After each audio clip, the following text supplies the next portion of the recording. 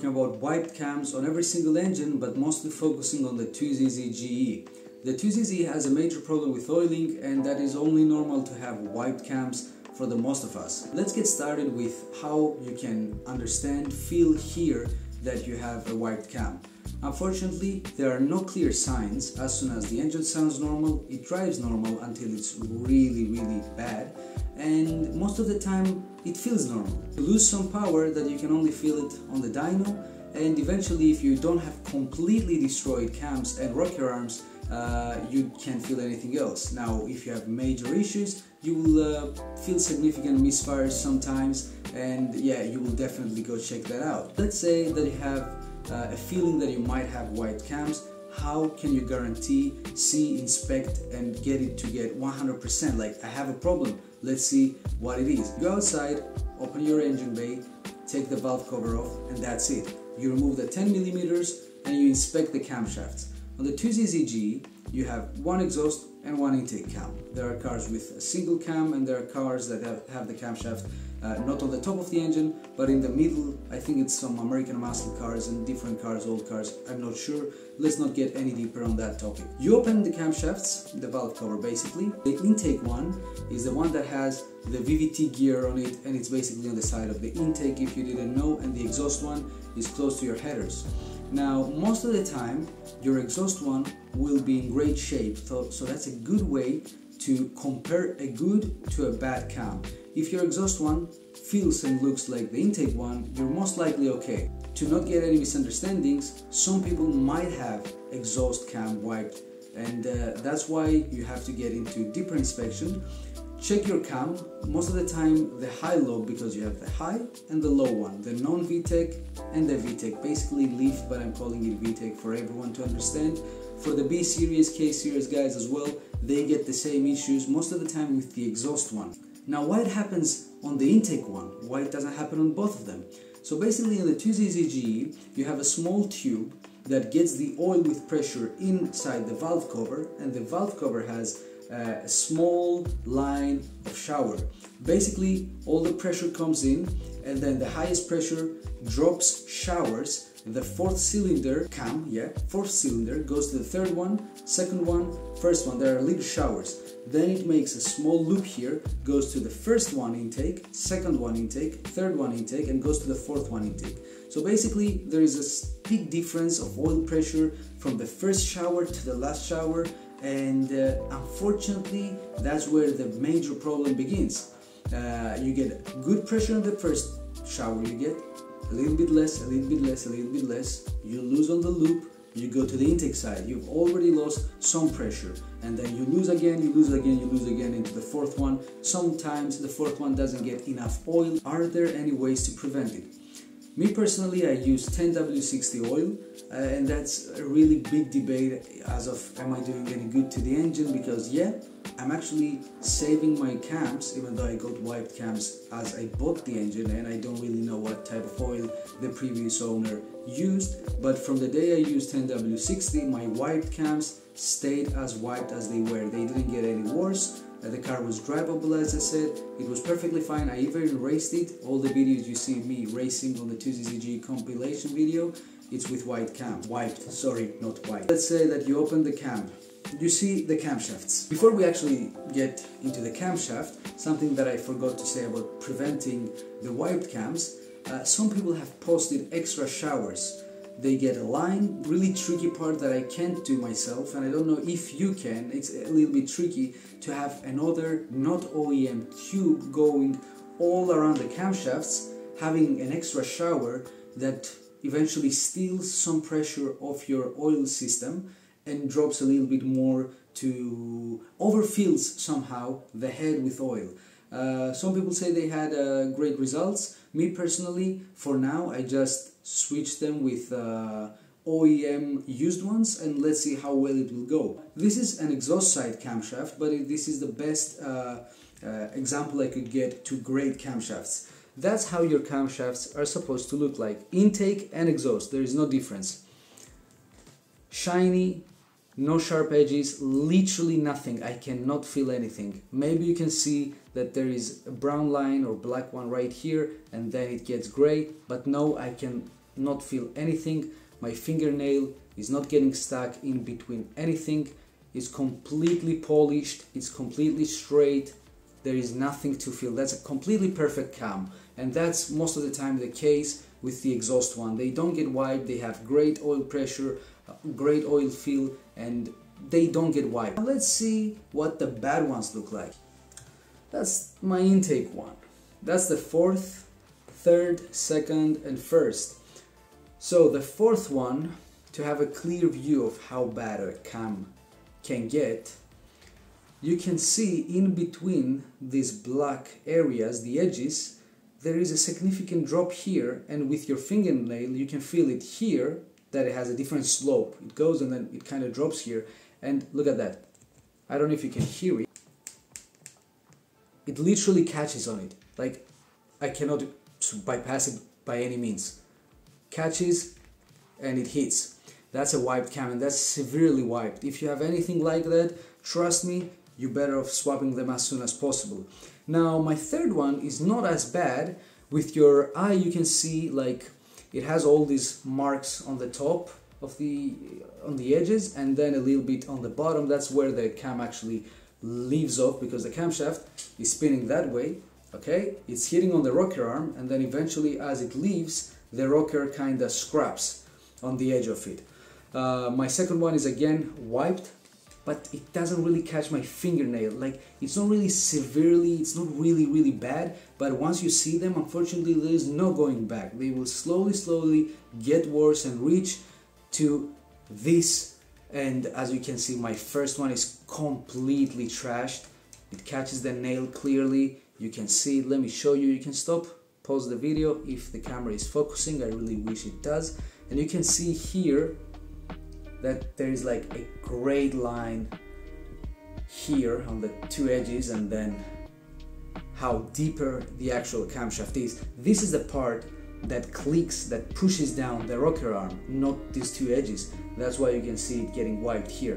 Why Toyota? Why? What did go wrong with the whole system?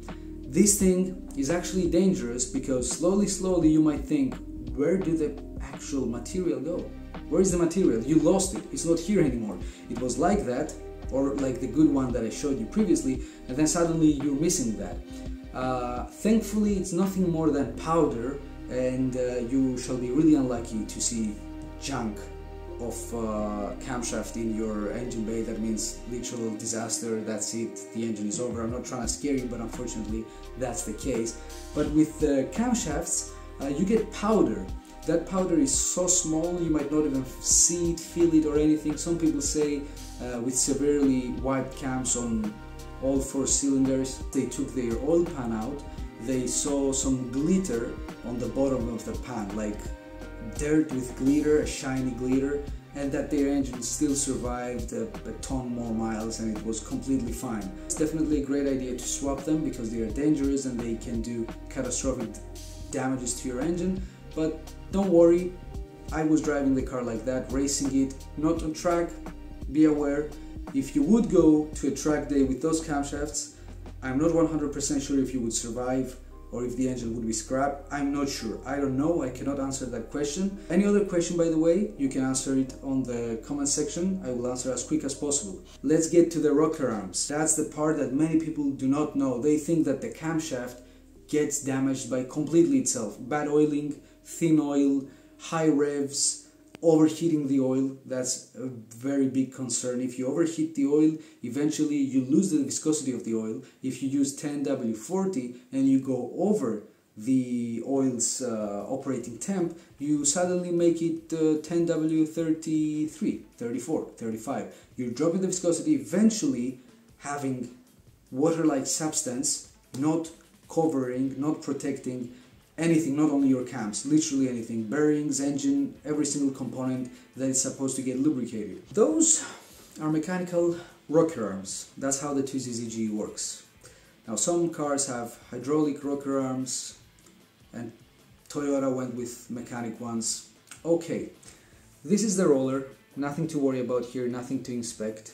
And this is the high cam uh, lifter, I don't know how you're supposed to call it. This thing actually rotates, gets pushed by the camshaft. It's really slippery with the oil. And before it reaches a certain RPM set for the VTEC lift kicking, uh, it doesn't do anything. It just gets pushed on, there is nothing holding it back, the camshaft has no problem clicking it, and once you, uh, let's say, get to the crossover point, 6.2K uh, for most of the stock uh, ECUs, it's get locked by a pin here with the oil pressure, and that's when the high cam actually presses that and gets the whole thing pressed down to open the valves wider and for more duration. This is wiped but not severely so you might not even see it. I do see it but for you it might feel like a completely great rocker arm. Now you see how it goes? There is small wipe here like it's it's grinded with something but it's so little that you might not even see uh, I have a picture that I will show you right here, right here, right here. I don't know, I'm not the best editor. Maybe here. There is it. You see it?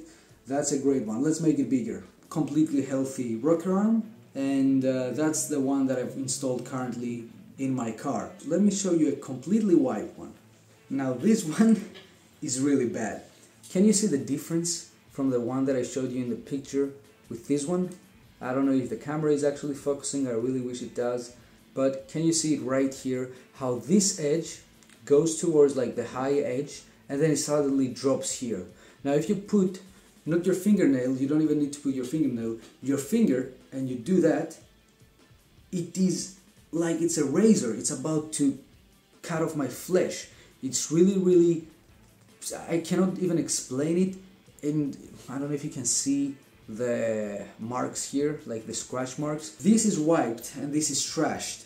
Now, you obviously have to swap all your rocker arms when you have, not all, I'm sorry, you have to uh, swap the rocker arms that are wiped with the cam. If you see like a wiped cam, you swap the rocker arm beneath it. The thing is that the problem starts from the, some people don't know that the problem actually comes from these guys. If you have a lot of money, you buy Ferrea rocker arms and you never ever have to worry about wiped cams. That's it. It's over. The thing here is that Toyota actually used very small, really thin material here and it didn't really even go to this edge. You can see how it stays here. Basically, the camshaft rotates, clicks, pushes this down, slowly eats this area, and once this area is eaten, the material underneath is really, really hard for the cam to work on. So you first eat the rocker arm and then your camshaft slowly grinds right here. Think of it as a cam, okay? It hits here, pushes it, and once it goes to leave, like rotate out, it actually licks this area that's really, really harder than it's supposed to be on the top, and then it suddenly gets eaten. Those guys are the problem, and Elise Parts had solved this issue with a replace pad. Unfortunately, they don't sell those anymore. I uh, sent them a message, tried to get uh, four of them for me, but unfortunately, no, they don't have them. They are discontinued. You basically would take that spring off, remove that pad off, and you get a wider and a longer area, a longer pad for the camshaft to work on. Those are completely trash. I don't know why Toyota went with that. That's completely reasonless.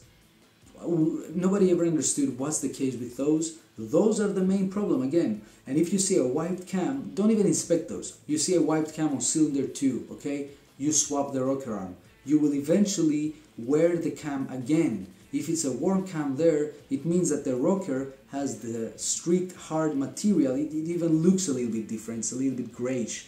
Uh, and that material eventually eats on the cam. As I said, this thing goes to almost every single engine that is high revving.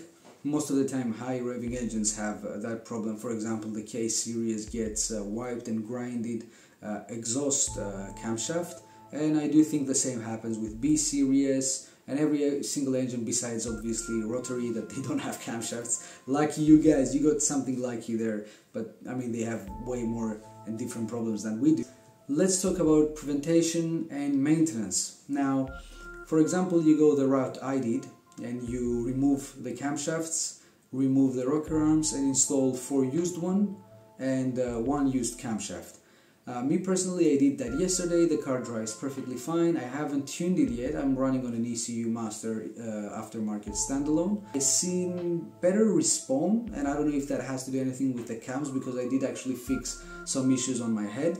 Not this head, but the engine head.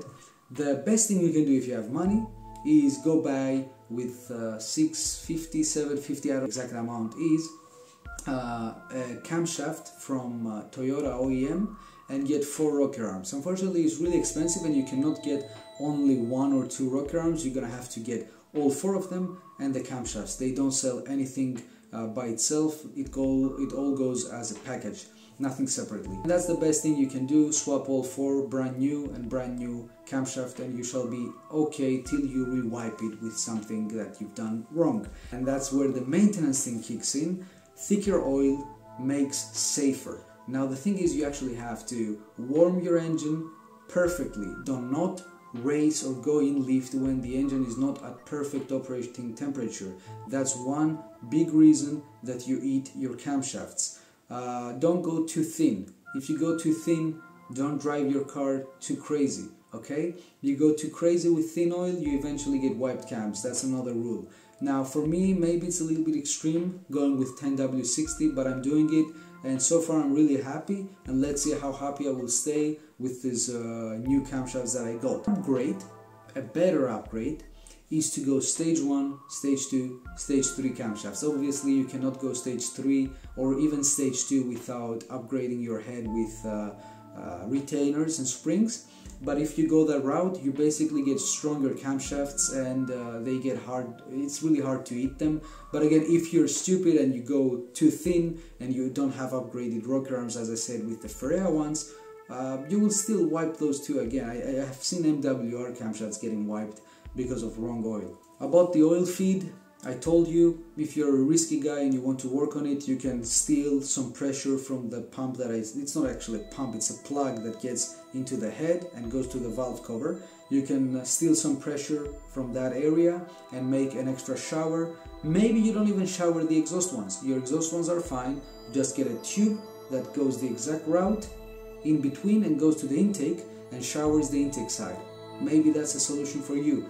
It's something that I wouldn't risk doing high RPMs, something shakes, something cracks, something is not correctly welded or installed and from wiped cams you get a wiped engine. That's it. Eventually the main problem is high revving, bad oiling. If you don't rev it high and you don't uh, use bad oil too thin, you shall not have this problem. Now if you race it, that's a different story. You race it, you use a little bit thicker oil, you uh, warm your engine, you warm your oil with an oil temp gauge, uh, you shall be perfectly fine. There are still so many things to talk about and I will be here to fix the issues on my car, on my engine and then bring you the camshafts as I did today and show you the exact problem and what exactly happens inside your engine. Uh, I really wish that I helped you with this video. I really wish it's not completely boring. Uh, I'm trying my best with the editing part and uh, I really wish you enjoyed and learned one thing or two about wiped cams on the 2ZZG engine. Thank you for watching guys and I will see you next time. Bye bye.